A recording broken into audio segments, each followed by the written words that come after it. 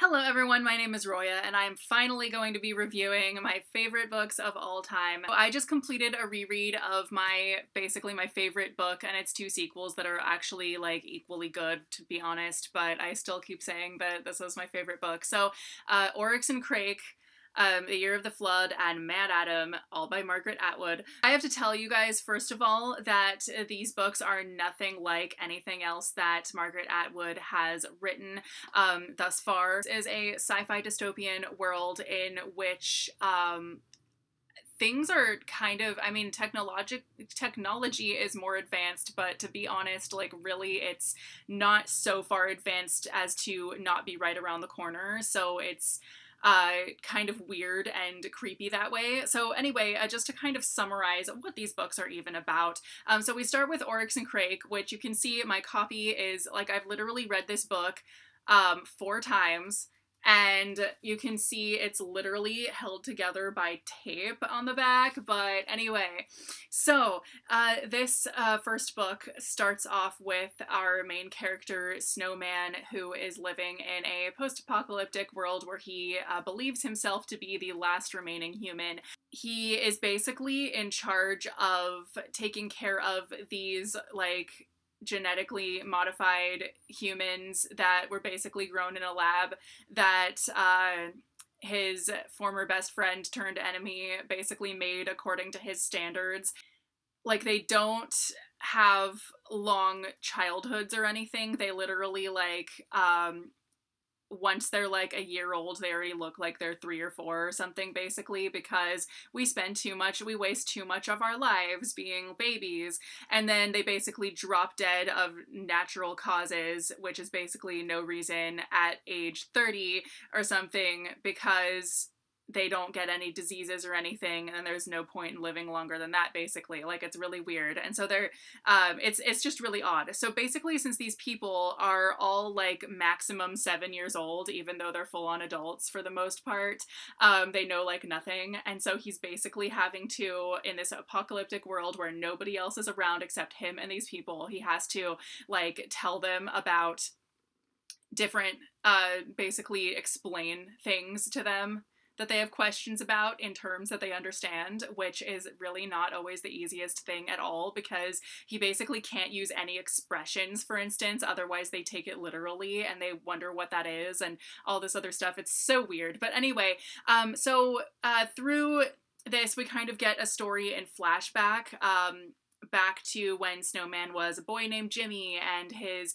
uh, mother was his uh, father worked in a uh, lab type place and his mother live his mother like ran away and destroyed a bunch of information and uh, basically went rogue and all this other stuff. So it basically like goes all the way through when he meets his best friend and then his best friend ends up releasing a pandemic that kills everybody and all this other stuff that you basically like know going into the book what ends up happening.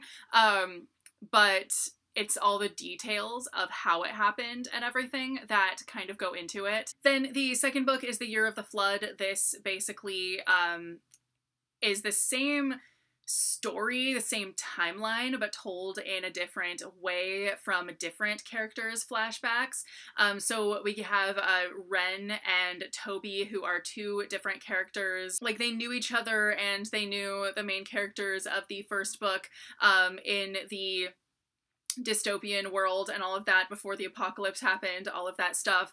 Uh, but it's basically the same it's basically a whole different corner of the story. So we do see the same world that kind of went on and what happened and everything from a totally different perspective and different uh, parts of what the setting is like which is really fascinating. So both of the main characters that we get in this book um, were essentially kind of raised in a um, in this place with these people called the God's Gardeners who are how do I explain this even? Like they're basically um not even almost they almost take after like Amish people in that they don't do the whole vanity dealio. They all just kind of wear brown sacks for clothing, pretty much, that type of stuff. But they're very like um their ideas are kind of in the right place as far as uh, what technology is bad and what um, you know uh, pills and medications are bad and all this other stuff. Um, but the way that they treat stuff like mental health is so backwards. It's like really odd. But basically, the whole deal, the, the whole thing is that they're living this like very natural lifestyle. And both of the main characters initially, like, they weren't from there initially. They came there from a like crappy, you know, the crappy world out there. Um, and then they eventually have to go back. They have different reasons for having to leave the God's Gardeners and go back to where they each came from, um, kind of, and have to uh, figure out how to do life in the um, shitty dystopian world. And of course, uh, then we get their whole uh, storyline in the apocalypse as well. And finally, uh, the third book, um, MaddAddam, is basically about uh, just the apocalypse happening where i mean we do get some flashback chapters but for the most part it's uh taking like the flashback chapters are um in the form of different characters kind of telling each other corners of their stories that were missed in the first couple of books. Uh, but for the most part, the, bo- the whole book takes place during the apocalypse, where all of the main characters have already gotten together.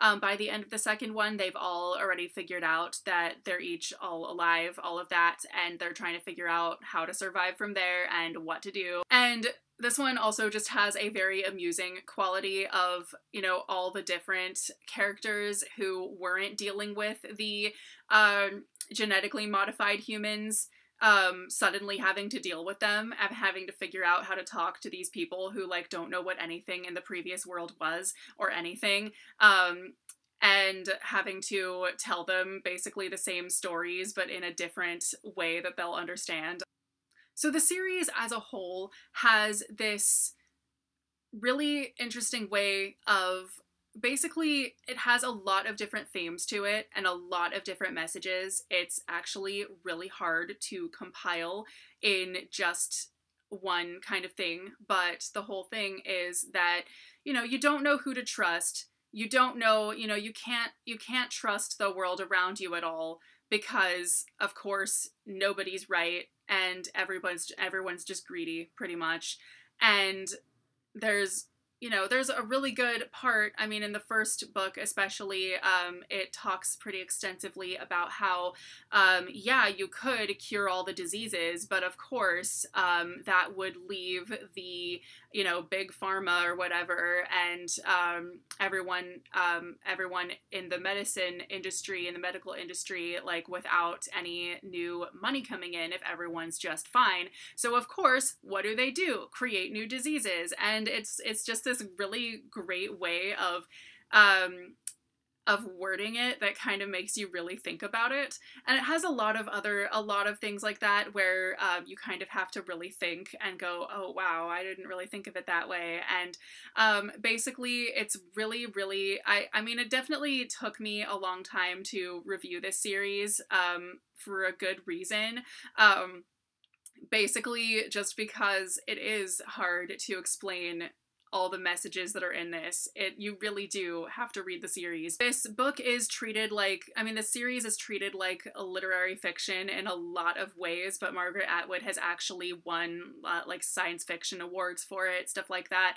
Um and it really is science fiction. There are like bunnies that were made to like glow and there are pigs that are used to grow extra kidneys and stuff on for people's kidney transplants all kinds of stuff like it's really really um, it's clear that it's science fiction, but it's just the fact that, you know, some people can't get past the fact that it takes place in almost a modern day esque setting with slightly more advanced technology. Pretty much, if you go into it expecting literary fiction, you're obviously gonna be really uh, surprised to find a, a hell of a lot of sci fi elements, basically. So, anyway, um, this is basically my favorite series ever, and I highly recommend you read it. Uh, uh, because I really can't tell you everything in a review. So, anyway, uh, let me know if you've read these books and what your thoughts are, and I will see you very soon with a new video.